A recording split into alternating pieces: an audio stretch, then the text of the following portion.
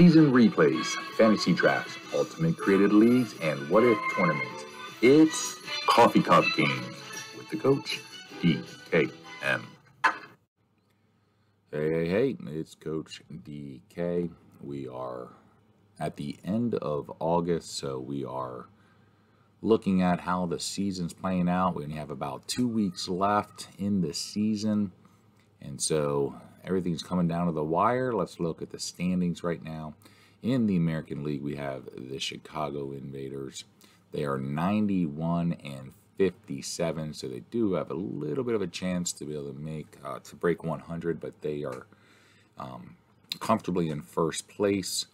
Um, as you can tell, uh, part of that reason is because they have won 11 games straight. Um, and so in the month of um, all excuse me, yeah, August, they went 20 and 8. So they have skyrocketed. They were within a very, very close race, only a couple games up, but over the last week and a half, couple weeks, they have really skyrocketed, giving themselves a pretty comfortable lead. You also see that um, in second place is Brooklyn, um, followed closely by Cleveland, Milwaukee, and Detroit. So still a very, very close race um, with 14 games left right here you can tell that uh, anything could happen. Um, coming after that group there, though, obviously don't want to be in fifth. Uh, so Detroit and Milwaukee obviously are fighting with Cleveland, trying to get out of that fifth spot, trying to get up to third.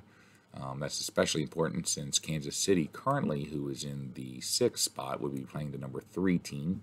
They have a first team that has a losing record in the conference or in the league. Um, so Kansas City is a sixth. Buffalo is still in the mix of trying to be able to take over Kansas City. Um, but obviously, then Minneapolis Millers are well at the bottom, 41 games out. In the National League, we got the Brooklyn Superbas. Uh, they are 92 and 56. They are one game better than the Chicago Invaders, but their lead has um, was around six and a half for a long time. Did get a little bit lower, did get higher, but they have also done an incredible job. They have improved their record. As you can see, um, they had a very, very good August. They went 19 and 9. Um, so they also had a very good record that is helping them close out the season. They should come in first place. They need two more games to win two more games, and they will have clinched the pennant for the National League. Um, but after that, it is Boston and St. Louis uh, really fighting it out. St. Louis um, has been doing well, um, kind of staying in that mix there. Um, unfortunately, they went 14 and 17 um, in the month, so that has not helped them, but they are still in there. But the team that has really shot up has been Pittsburgh. They were in seventh place. They have shot up to fourth now. Um, if Pittsburgh does what they're supposed to, um, that would be a great matchup in the second round um, between Brooklyn and Pittsburgh. As if Brooklyn beats Cincinnati and Pittsburgh beats Chicago, you're going to have the original number one and two teams playing in the semifinals of the league. And so that will be an interesting game for sure. But it really comes down to Boston and St. Louis for second. Um, Pittsburgh, Chicago, Philadelphia, New York, and Cincinnati, all teams within six games of each other, so a very tight race. Nobody's really out of it. Um, Cincinnati, if I'm correct, has been doing very well. Yeah, they went nine and one the um, over the last ten days, so they've been nine and one. And in August, you'll see they went 23 and eight. So they've done an incredible job coming back in uh, making themselves, getting back into the mix, trying to get out of that number, the bottom of the barrel, um, the last place team. So, as you can tell, some teams are still, um, the top teams are doing great. Um, some teams are, we have a lot of races still to determine, but it'll be really interesting to see how it all plays out. In the league, um, our league leaders, we have Elmer Flick from Philadelphia. Um, he is hitting over 400. Did not think we would have somebody hitting over 400, but Elmer Flick by far um, is the best hitter in the league, and I would say Wagner is pretty darn close behind him. Um, but you see, uh, Elmer Flick is hitting 402, Wagner 387, Burkett 385, LaJoie 385, uh, McGraw is hitting 382, Beckley 381, and then Wee Willie Keeler is hitting 374. Those are our top average guys. Runs scored, you got Flick um, leading again at 135. Burkett is at 132. Thomas from Philadelphia is hitting um, has scored 128 times. Hemphill has scored, scored 127, and Pickering has scored 126. The name that I don't see in there, surprisingly enough, is Honus Wagner. I thought for sure he would be in that top group for uh, runs scored. Um, hits, Pickering is leading the league, uh, the leadoff man for Cleveland. He's got 240 hits followed closely by Burkett, 239, and Wagner is hitting 238. Wagner usually hits in the three spot, um, so that many hits is actually very, very good. Um, doubles, Wagner leads with 50. Uh, triples, we have a tie. Um, we have Hemphill and Hickman with 23. Wagner's at 22. Hartsel um, of Indianapolis is 21. And Joe Kelley from Brooklyn is at 20. Home runs, um, we said that Elmer Flick obviously is the best hitter in the league, but you can see he's got 18 home runs. Sullivan and Donlin um, both are at 17. Um, Shugart and Seybold, Sock Seybold, um, are at 14, followed by Long and Freeman of Boston, uh, Sullivan's teammates, and then Topsy Hartsel with 10. So runs batted in, we have about six, seven guys who have over 100 RBIs already. Jesse Burkett um, is got leading the league with 126. Elmer Flick, um, probably the MVP of the National League, has 118. Honus Wagner's 111. Ed Delahanty is 104. Dungan is at 103. Lachance at 101, and Keeler at 101. So you can see a lot of Hall of Famers in there, except for Dungan and Lachance, but five of those guys do end up making the Hall of Fame eventually. Um, other Hall of Famers in that list is Lajoie and Joe Kelley and 97 and 94 respectively. Um, going down to stolen bases, another one I like to look at. Um, Ollie Pickering leads the league with 67, Anderson with 65, and Barrett with 61. So um, Pickering has been one of the best players in the league um, consistently. Um, hitting streak, it was Pickering, but uh, Van Haltren of the New York Giants got a hitting streak of 25 which is incredible. Um, so that is currently the top league. We don't see anybody with a current streak at 18 or higher. Um, so right now it's Van Haltren. Um, total bases, you see Elmer Flick with 355, no surprise there. Honus Wagner with 347. And then the only other guy with over 300 is Jesse Burkett at 312. Um, going down toward the pitchers, we see Cy Young, who ironically in the year 1900 had his first, if I'm correct, non 20 win season.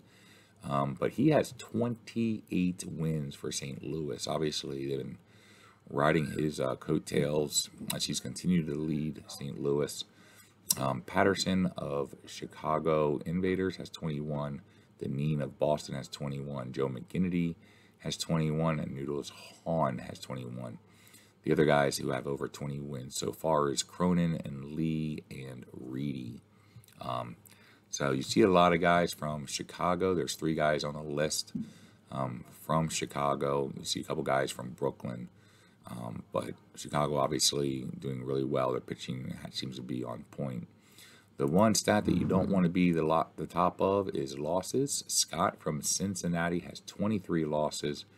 Uh, Moley from Buffalo, who I believe we actually saw earlier in one of our replays, has 20, and Bailey has 20. So ERA is the next one that we tend to look at. Um, Jack Katoll, you notice you got four guys, yep, four guys in the top six who are all from Chicago Invaders. The top three all are um, Chicago's pitchers. You got Jack Katoll with a 1.28. He's been pretty much leading the league all year. Denzer is at 1.46. So two guys who have qualified with innings pitched um, are under that 2.0 mark. They're actually all the way below the 1.5, so a big gap there. Um, you have Reedy with a 2.10, Gardner at 2.11, Fisher, the other uh, Chicago pitcher, at 2.13. Detroit's Yeager is at 2.17. We've seen him a couple of times, and Hart, who we saw was at is at 2.19. Um, most innings pitches is Cy Young. Um, total base batters faced is Cy Young. Um, most games pitched is Corbett from Minneapolis Millers. He has pitched in 89 games, followed closely by Chicago Orphans um, Harvey, who has 88. Um, most games started, we have three guys above 40. It's Amoli, Lee, and Carrick. Complete games, we have Dinneen from Boston, Holly, uh, Pink Hawley from the Giants. We have Jack Katoll with 16 uh, gear. I want to say it was Doc Gear, but I'm not sure if that's correct, uh, with 16, and Cy Young with 16. Uh, most saves, you're not going to see a lot just because of the year 1900, but the league leader is with 11, which is Howe from Brooklyn. Um, moving down, we see shutouts. We see Fisher with five, Katoll with five, and Dinneen with five. Uh, interesting enough, who you do not see on this list is Cy Young, uh, the, the, best pitcher in the league when it comes to wins. Um, strikeouts, talking about Cy Young, he's leading the league with 112 strikeouts. Noodles Hahn, who was originally the National League leader in strikeouts, has 107.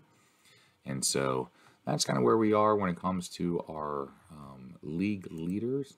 Um, looking at team totals, you'll see that Brooklyn and Philadelphia lead the league, both teams with over 300 averages.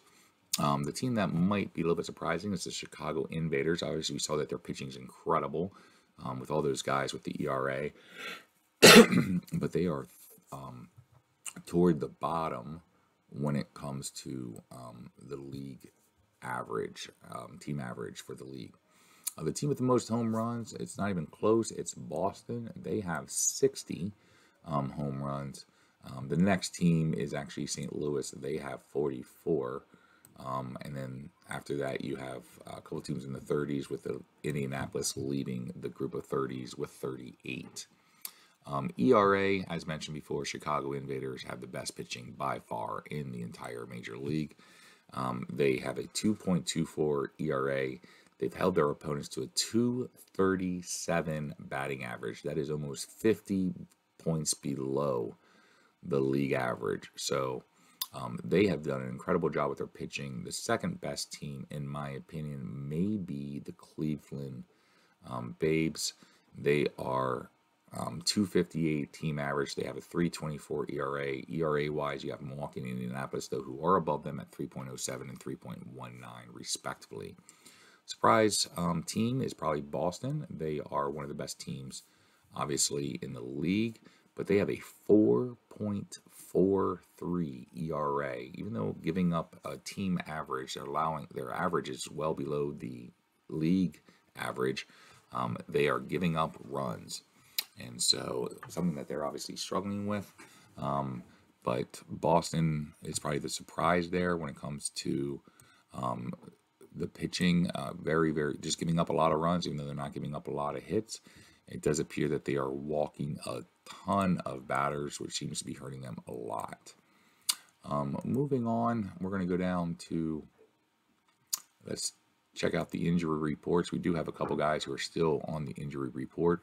Um, some guys that will not be able to finish out the season. You do see there are two guys from Cleveland, Christian and Egan. You see two guys um, from Detroit, um, Fifield um, is going to be out for the rest of the season. Um, Gray is almost out for the entire season. He'll come back for the last game of the season for the Hoosiers if they have two guys out. We already talked about Rube Waddell. He's already out for the rest of the season. Um, for Brooklyn, you have Knops. He is out, um, going to be out for the rest of the season. Um, for Chicago Orphans, you have um, Menefee. And for Cincinnati, the Hall of Famer Sam Crawford is out. And so that's obviously a big one. Um, New York Giants took a hit. Their best pitcher, Christy Mathewson, future Hall of Famer, one of the best pitchers all time, um, is out, and he will be out until the last game of the season. Once we start the playoffs, though, everybody does get a clean bill of health. Um, we do take away injuries um, at that point, and then any injuries that occur during the playoffs obviously will be what they are. Um, usually, what I've done in the past is injuries during playoffs only last that game. Um, just to try to let them play it out and see the best players play. Um, but you can tell Detroit has had 255 games lost to injury this year. Um, Pittsburgh has only lost 50, and yet Pittsburgh is in fourth place, so that's a little bit surprising that they have struggled as much as they have this year. Um, going to the awards voting, we will look at this from an American League and then a National League perspective. On the American League, you see Ollie Pickering is um, at 375 for the MVP. He's followed closely behind Zach Seybold at 367. On the Cy Young Award, you see Jack Katoll from Chicago at 124, and his teammate is in second, um, Patterson, with 102. Um, best players, All Star selections, which we'll do at the end of the season. You see Powers, a catcher, Lachance at first, Magoon at second, Hartman at third, um, Shugart at short, and then in the outfield, it looks like we have first will be Ollie Pickering, Sox Seybold would be second, and Hemphill would be third. Um, so that would be our um, outfield and the full lineup for our top, our first team or starters for the All Star selection. Um, you do see Jack Katoll, um, Patterson, obviously, are the top two go getters. You do see Reedy and Waddell. Gear, Yeager, Denzer, Cronin, Kellum, Winkellam, uh, Fisher, um, Hart, and Hoffer are all looking like they might be able to make the All Star. Obviously, all but maybe the last four guys should make it for sure at this point. There might be a couple of people that might slide in there, but it looks like that's almost set with only two weeks left. Um, uh, when we come down to the National League, we do see Elmer Flick is obviously the go get the top um, vote getter. He has 379 votes. Wagner is close behind with 369. In my opinion, I would probably still say it should be Flick. Um, I think the main difference is, is possibly records, balance of teams. I don't know, but I think Wagner should have a much bigger lead than that. Cy Young is about to win the award for his namesake. He has a very comfortable lead over Noodles Hahn. Don't see any change there. All star selection we have Chief Zimmer, uh, Jake Beckley, Nap LaJoie, Jimmy Collins, um, Bill Dahlen, Jesse Burke. And then in the outfield, we would have, it looks like Elmer Flick, Honus Wagner, and Jesse Burkett. I believe most of the entire team, minus maybe two of them, are Hall of Famers. Uh, the pitching would be Young, Noodleton, Deacon Phillippe, uh, Howe, Dinneen, Orth, Kitson, Waddell, McGinnity, Garvin, Harvey, and Kennedy. Don't really think there's too much of a surprise with any of those names there. Um, a lot of those guys we've seen. Again, I do believe, just based off of the votes, if Brickyard Kennedy is at 744, I would say everybody else looks like they'll be safe. Kennedy might not make it depending on how he does. Um, let's go ahead and finish up with the record book. Um, longest game so far is a 13 inning game. We've seen two of those uh, this year. We saw one in June, one in July. Um, most runs scored, um, 27 as the New York Giants scored 27 runs, um, which is incredible. Um, by far the highest runs in a game. Um, most runs by two teams, you'll see that in that game they won 27, but they did give up 13 runs, so a 27 to 13 uh, game. Um, I do believe we had a game that we had a lot of runs, but nothing that looks like that it compares. Um, most hits, we had a game where we were in the 30s, I believe, but never got past 35. So the most hits um, by both teams is 45. We had um, Selbach of the Giants had eight at bats in one guy game. Jesse Burkett had six hits, and I really believe we actually had a game where recently, oh, this is the National League, so we won everything here, so that might help a little bit. So 13 run innings, 27 runs, 32 hits, so nothing really seems to be changing here. Um, the most hits by both teams um, 49 between Detroit and Kansas City. Most at bats. All right, now we're seeing some things right. Um, is eight. We had three guys do that. Most hits in a game. Um, we were part of the game. We did that as a highlight where Gennins has six hits um, in six at bats. Obviously, uh, that's the most recent time that a player had six hits. We were able to see that. That was pretty awesome. Um, most home runs in a game, we have several players who have had two. Um, nobody with three home runs. So it is what it is. Most runs scored, we do have five being the top. Most RBIs is seven. Um, that happened just yesterday, it looks like, or I guess would be today, um, where Hugh Duffy um, had seven RBIs for Boston against Chicago in six at bats. Um, and just about 10 days beforehand, Sullivan from Boston, uh, his teammate, had seven RBIs against Pittsburgh in only four at bats. Most stolen bases, we have several guys with four. Um, always one of the ones I like to look at to see if there's any no hitters, which we have not had yet. Um, nobody's had a no hitter yet. Jack Katoll has had two games where he only gave up one hit. Um, Vic Willis, the Hall of Famer, he did it in May, and then the most recent one, none in August. The most recent one was in at the end of July, where Taylor Chicago uh, about one hit against the New York Giants. Um, most strikeouts in a game, Noodles Hahn had nine, so that's actually very impressive. And he did that in eight and a third innings. Um, so nine strikeouts for Noodles Hahn.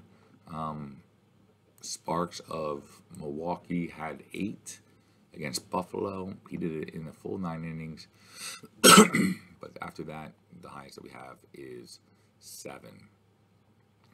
So that's kind of where we are when it comes to uh, everything. Again, Chicago Invaders lead the American League. They have a comfortable lead. They need seven games. Uh, the next 14, they need to win half of them to, to clinch. Um, Brooklyn pretty much is about ready to clinch. They just need to win two games out of the next 14. A lot of tight races um, going on. It looks like Cleveland, Milwaukee, and Detroit, particularly, are really battling out for that three, four, and five spot in the American League. Indianapolis has a little bit of a comfortable lead in second, so they should be able to wrap that up. Kansas City and Buffalo are fighting a little bit for the six, seven spot in the American League. In the National League, you have two, um, I would say, two battles going on. Um, you have Boston, St. Louis fighting for second and third, um, and then you really have a big clump between fourth place and maybe even all the way down to eighth place, um, where you have teams all within six games of each other, and that could all play out in different ways. So that's the season so far. Um, all the way up to August, we only have 14 games left. So that would make one more game of a replay. We might do something just at the end of the season if there's a game that comes up that we just feel like we have to show. But otherwise, um, there we are. That's August. Um, until next time, this is Coach DK. Hope you guys have a good one. Bye.